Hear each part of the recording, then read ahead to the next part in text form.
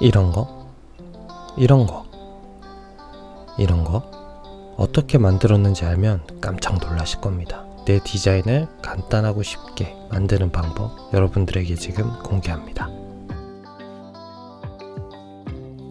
앞에 보여드렸다시피 저 제품들을 어떻게 만드는지 여러분들에게 보여드릴 겁니다.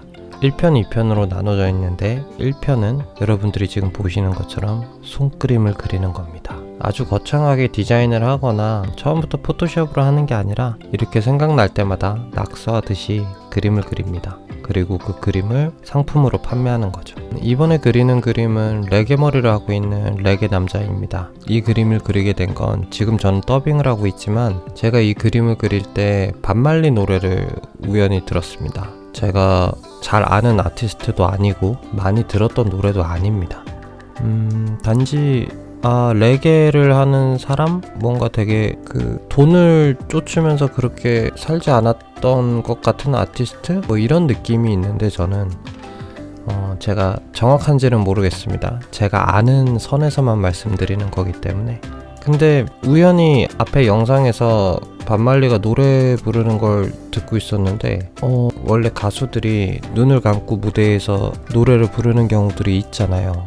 근데 좀 색다른 느낌의 그런 뭐랄까 진짜 음악에 취해 있는 것 같은 느낌? 어, 뭐 한국 사람들 뭐 우리나라 표현으로는 좀 저급한 표현으로는 어야 무슨 약 맞은 것 같다 뭐 뽕 맞은 것 같다 약간 이런 느낌의 제스처를 취합니다 그러면서 노래를 부르는데 어, 상당히 매력적입니다 No Woman No Cry란 노래를 들었는데 아 뭐랄까. 뭐 제가 영어를 엄청 잘하는 게 아니기 때문에 뜻을 다 해석하기는 힘듭니다. 근데 그래도 아주 쉬운 단어들이 좀 반복적으로 나와서 어느 정도는 예측이 가능한 노래입니다. 뭐 과거에 뭐 이렇게 이랬잖아 뭐 좋은 일이 있었잖아 뭐 울지마 뭐 이런 식의 노래입니다. 희망 섞인 메시지가 담겨져 있는 듯 하면서도 뭐 어딘가 좀 짠한 그런 뜻이더라고요. 제가 나중에 찾아보니까 한번 들어보시는 걸 추천합니다. 어, 그냥 들어보시는 거 말고 영상을 같이 한번 보세요.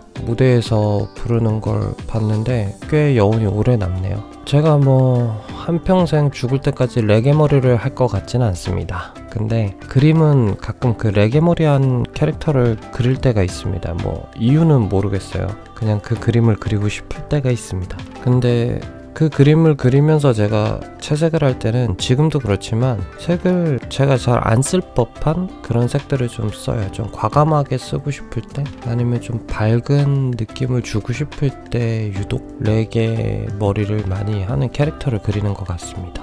자 다시 제품을 어떻게 만드는지로 돌아오면 제가 2편에서는 포토샵을 주로 보여주면서 후보 정하는 모습들을 여러분들에게 보여드리면서 마플샵에서 상품 제작하는 것까지 보여드릴 거예요. 어렵지 않습니다. 어렵지 않고 제가 요즘 부쩍 이 영상들을 많이 올리잖아요. 이렇게 제품으로 판 영상들을. 근데 이게 무언가 제가 아 내 물건 많이 팔아주세요. 뭐 물론 많이 팔아주시면 어, 물론 많이 사주시면 좋죠. 근데 그런 느낌이 아니라 어, 재미있다고 해야 되나요? 재고 부담 없이 저는 디자인비만 받는 겁니다 그 상품은 그 상품을 만드시는 분들이 그 가격을 책정 미리 책정돼 있는 가격을 받으시는 거고 저는 디자인비만 받기 때문에 저에게 크게 떨어지는 건 없습니다. 그래서 음, 뭐 그런 좀 메리트가 있나? 이런 생각을 했었는데 아니 재고 없이 상품을 만든다? 재고 부담 없이? 아 이거는 정말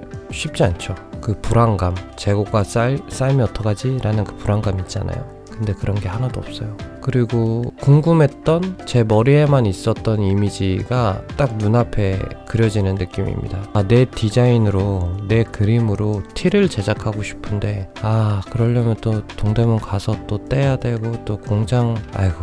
근데 딱 바로 볼 수 있죠. 아, 내가 후드티에다가 이런 식이 되는구나. 어, 나름 괜찮네. 아, 머그컵에는 이런 식으로 내게 나오는구나. 그러면서, 음, 팔 생각은 안 하고 제가 제가 만든 제 디자인의 상품을 제가 주문을 하고 앉아 있습니다. 그리고 그걸 제가 쓰면서 만족감을 느끼고 있어요. 아, 정말 어디서 장사하면 안 되는 딱 그런 스타일입니다. 근데 재밌어요. 그래서 여러분들에게도 알려드리고 싶었고 당분간은 이 짓을 계속 할 생각입니다. 또 언젠가 질릴 수도 있겠죠. 뭐 저는 그렇게 생각합니다. 제가 하는 말이 다 맞다고도 생각하지 않고 제가 하는 행동이 다 정답이라고도 생각하지 않습니다. 언젠가는 변할 수 있는 행동들과 생각들이기 때문에 확신을 못 하겠어요. 뭘 하든 확신하기가 좀 힘들어요. 그래서 뭐 계속 쭉 할 수도 있지만 언젠가 변할 수도 있기 때문에 미리 밑밥을 깔아두는 겁니다. 여러분들 지금 제가 그리는 거 보면 어떤가요? 어렵나요? 여러분들도 끄적끄적 낙서하시잖아요. 그런 것들도 괜찮은 것 같아요. 저는 이제 어, 나 이걸로 한번 후드티에다 해보고 싶어 컵에다 해보고 싶어 이러니까 약간 네, 의도를 하면서 그림을 그리지만 뭐 굳이 그렇게까지 해야 되겠습니까? 그렇게 안 해도 제품을 소싱하거나 그러니까 제품을 판매하는 데는 문제가 될 것 같지 않습니다. 되게 웃기게 생겼죠. 나름 네개 머리를 하고 있는 반말리는 아니지만 뭔가 그런 느낌을 연상하고 싶었습니다. 레게 머리를 한 좀 근데 왜 제가 그리는 그림들은 뭐 그런 게 있어요. 그림을 제가 그리면서 많이 느끼는 건데 제가 예전에 그 공황장애 겪고 좀 힘든 생활을 할 때부터 그러니까 그건 경제적으로 힘들다라는 그런 느낌이 아닙니다.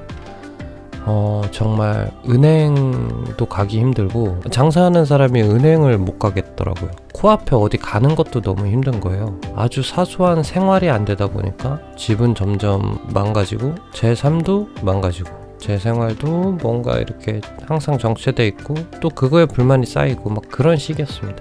근데 그게 그림으로 그리니까 티가 나요. 그림에.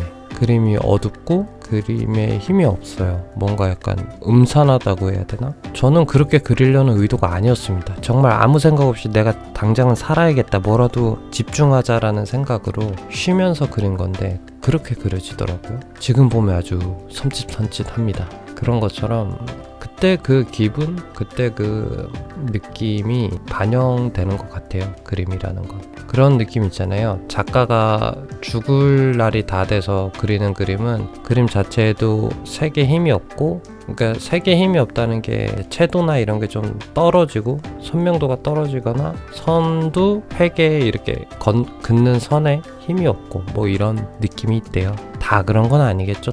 근데 그래서 그림만 봐도 알 수 있다라는 그, 그런 말이 있더라고요. 그래서 그림이라는 게 그때그때 충실하게 내 감정을 기록한다 라는 것만으로도 충분히 의미가 있습니다. 그러니까 아 뭐 미대 나와야 그림을 그리고 뭐 그림을 전문적으로 배워야 그림을 그리고 그런 건 아니니까 여러분들도 자유롭게 한번 그려보시고 그 그림을 판매까지 해보시면 더더욱 좋고요. 제가 지금 너무 이상한 얘기들을 많이 했죠. 공황장애부터 뭐 이것저것 중요한 건 손그림이라는 거. 제가 판매하는 상품의 디자인을 하고 있는 건 지금은 다 손그림입니다. 그리고 backdrop painting으로 했던 작품들도 결국은 다 오프라인에서 제가 backdrop painting을 직접 하고 그걸 찍어서 제품에다가 프린팅한 겁니다. 제 거 백드롭 페인팅도 궁금하시면은 마플샵에 있으니까 한번 오셔서 구경해 보세요. 오늘은 여기까지 제가 영상 찍고 2부에서 또 찾아뵙겠습니다. 근데 제가 2부 찍을 때는 아마 새벽일 겁니다. 그래서